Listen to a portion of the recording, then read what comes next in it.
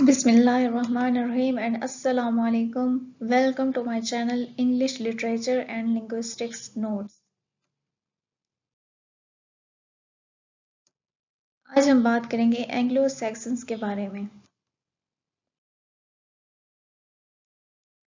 We work the fields and sow the crops. We have got great craft skills too. Wood, metal, glass, pottery and gold. We are proud of all we do. Anglo-Saxons. We are strong and brave and true. Anglo-Saxons. Work hard in all we do. Germany, Denmark and the Netherlands.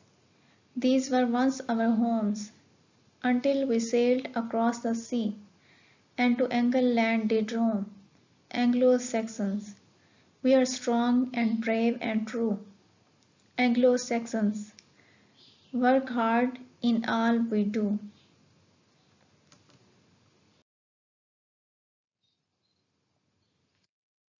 Anglo Saxon का जो time period है, वो start होता है 670 से लेकर 1100 तक इसका पीरियड हम पॉइंट वाइज पढ़ेंगे पॉइंट नंबर वन से हम स्टार्ट करेंगे the earliest phase of English literature started with Anglo Saxons English literature का जो फ़ेज़ स्टार्ट हुआ, वो हम काउंट करते हैं एंग्लो सेक्सन से। और एंग्लो सेक्सन्स आए कहाँ से? वो आए थे स्वीडन और डेनमार्क से। और इंग्लैंड के लिए ये जब आए तो फिफ्थ सेंचुरी में ये आए और सिक्स सेवेंटी एटी तक इन्होंने पूरे इंग्लैंड पे कब्जा कर लिया। इस वजह से इंग्लैंड को हम आज कहते हैं एंगल लैंड या इंग्लैंड और इनकी जो कॉमन ज़बान थी इन ट्राइब्स की जो ज़बान थी कॉमन नेम या ज़बान, वो थी इंग्लिश और ये ट्राइब्स क्या थे? These tribes were fearless adventurous and brave वो फेयरलेस भी थे एडवेंचरस भी थे और ब्रेव भी थे. They sang at their feast about battles gods and their ancestral heroes वो जो सॉन्ग्स गाते थे, वो होते थे बैटल्स के बारे में गॉड्स के बारे में और देयर एंसेंट्रल हीरोज उनके हीरोज के बारे में, जैसे थी ब्यू वुल्फ उसके बाद है कि इनकी लैंग्वेज या इनकी ज़बान का जो लिंक है, वो कहाँ से मिलता है? इनके ज़बान का जो लिंक है, वो आर्यन या इंडो यूरोपियन फैमिली से इनके लैंग्वेज का लिंक जा मिलता है। उसके बाद है they followed in their life five great principles इनकी जो लाइफ स्टाइल था या लाइफ थी, वो फाइव ग्रेट प्रिंसिपल्स को फॉलो करती थी। उनमें जो नंबर वन है वो है love of personal freedom second है रिस्पॉन्सिवनेस टू नेचर थर्ड है रिलीजन नेक्स्ट है love for womanhood and next struggle for glory और इसका नेक्स्ट जो मोस्ट इम्पोर्टेंट पॉइंट है, वो है कि most famous king of Anglo Saxons was Alfred the great इनका जो मोस्ट फ़ेमस किंग था, जो के साथ राइटर भी था, उसका नेम था एल्फ्रेड द ग्रेट जो कि किंग था वेसिक्स का। उसके बाद है लास्ट किंग इनका कौन था? लास्ट किंग वो था हेरोल्ड जिसको बैटल ऑफ़ हेस्टिंग्स में शिकस्त मिली 1066 में William the conqueror of Normandy के से, जो कि फ्रांस का था किंग नेक्स्ट जो पॉइंट है द दैट पीरियड एक्सटेंड्स रफली 670 एडी टू 1100 इनका जो टाइम पीरियड रफली जो हम काउंट करते हैं, वो है 670 एडी से लेकर 1100 तक. नेक्स्ट पॉइंट है disposition traits of character. Uh, number one point है savagery and next है sentiment. Next है rough living and deep feeling. एक तरफ़ उनका लिविंग स्टाइल था रफ लेकिन उसके साथ साथ इनके अंदर डीप फीलिंग्स भी पाई जाती थी। और था इनका स्प्लेंडेड करेज इनके अंदर करेज भी पाई जाती थी और साथ ही साथ इनके अंदर मेलनकोली भी पाई जाती थी। डीप मेलनकोली नेक्स्ट और मोस्ट इंपॉर्टेंट इनका जो पॉइंट है, वो है Anglo Saxons poetry Anglo Saxons poetry को हम दो ग्रुप्स में डिवाइड करते हैं.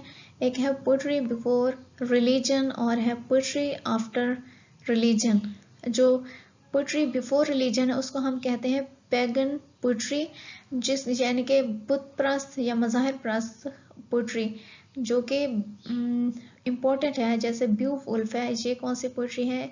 पोइम है बेगन पोट्री की। उसके बाद है जो रिलीजियस पोट्री है, इसके दो मोस्ट इम्पोर्टेंट वो है पोइट्स हैं जो, वो है कैडमन और सेकंड है सेंट वुल्फ कैटमैन का जो रिलीजियस पोट्री के जो टॉपिक्स होते थे, वो था fate of man creation fall और है लास्ट जजमेंट और सिन वुल्फ उसका जो टॉपिक्स होते थे, वो था क्राइस्ट स्टोरी और इसकी जो मोस्ट इंपॉर्टेंट पोइम थी, वो भी क्राइस्ट थी।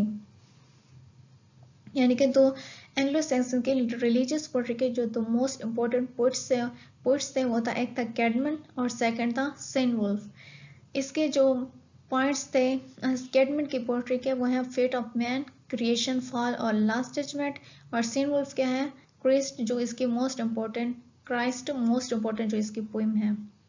और बिफोर रिलीजन पोट्री उसकी जो मोस्ट इम्पोर्टेंट पोइम है, वो है ब्यूवल्फ उसके बाद नेक्स्ट पॉइंट है, वो है एंग्लो सेक्सन प्रोज अब एंग्लो सेक्सन प्रो में जो मोस्ट इंपॉर्टेंट राइटर है, वो है एल्फ्रेड द ग्रेट जो कि इनका किंग भी था. उसने क्या किया? Translated a number of chronicles उसने ट्रांसलेट किए नंबर ऑफ़ क्रॉनिकल्स लैटिन से इंग्लिश में. नेक्स्ट इनका जो राइटर था प्रोज का वह है Aelfric a priest who wrote sermons in poetic prose उसने सरमन्स लिखे पोइटिक प्रोज में और इसने ये जो सरमन्स लिखे, वो लैटिन और इंग्लिश दोनों लैंग्वेजेस में लिखे. नेक्स्ट जो इनका राइटर है, वो है बीड वो है great scholar who wrote in Latin ये वो स्कॉलर स्कॉलर है जिसने लैटिन में लिखा। Bede was one of the greatest scholars of the Anglo Saxon period ये ग्रेट स्कॉलर था एंग्लो सेक्सन पीरियड का he produced a large number of works on subjects as varied as science, music, poetry and biblical commentary. इसने science पे भी लिखा music भी pottery और biblical commentary भी की लेकिन इसकी जो मोस्ट एंड इंपॉर्टेंट इसका जो वर्क है वो है ecclesiastical history of the English people जिसको इसका, इस जिस ने इसको बहुत ज़्यादा फेम दिया। यह इसका बहुत ही फ़ेमस वर्क है। उसके बाद है कि Bede is sometimes regarded as the father of English history और कभी कभी इसको English history father of English history भी माना जाता है। तो ये था लास्ट पॉइंट इसका एंग्लो सेक्सन प्रोज इसको दोबारा आप रिपीट कर लेते हैं कि एंग्लो सेक्सन की जो प्रोज है, इसमें तीन मोस्ट इंपॉर्टेंट राइटर्स थे। एक था अल्फ्रेड द ग्रेट सेकंड था अल्फ्रेड और थर्ड था बीड अल्फ्रेड द ग्रेट क्या था? ये एंग्लो सेक्सन्स का किंग भी था और साथ ही साथ ये राइटर भी था। और इसका काम क्या था? इसने लिखा translated a number of chronicles इसने क्रॉनिकल्स को ट्रांसलेट किया लैटिन से इंग्लिश में। उसके बाद है जो एल्फ्रेक है, ये प्रेस था और इसने सरमन्स लिखे पोइटिक प्रो स्टाइल में, लेकिन लैटिन और इंग्लिश दोनों में। थर्ड जो इसका है, वो है बीड इसने great scholar who wrote in Latin इसने लैटिन में लिखा अपना वर्क जो था। और इसका जो मोस्ट इंपॉर्टेंट वर्क है, वो है ecclesiastical history of the English people और इसको फादर ऑफ़ इंग्लिश हिस्ट्री भी माना जाता है। उम्मीद है अगर आपको मेरा ये लेक्चर पसंद आया होगा। अगर आपको मेरा ये लेक्चर पसंद आया है तो प्लीज़ मेरे चैनल को सब्सक्राइब करें लाइक करें और शेयर करें। Thank you